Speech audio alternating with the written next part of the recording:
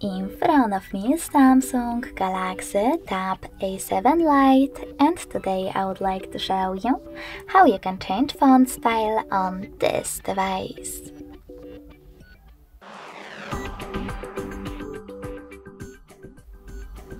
First of all, go into settings. Now you need to scroll down and tap on display section.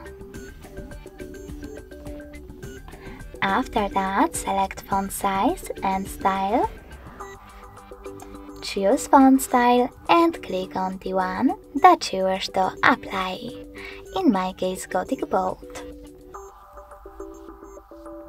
As you can see now, style of my font is different, but you can always go into exactly the same settings and click on download fonts instead.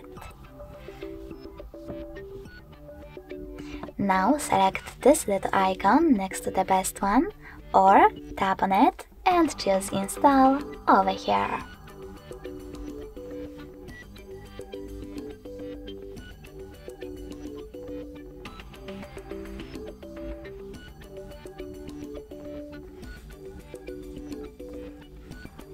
When you're ready, tap on apply and wait.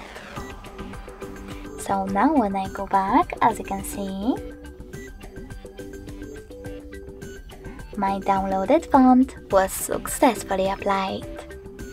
Thanks so much for watching. If you enjoyed this video, leave a like, comment and subscribe.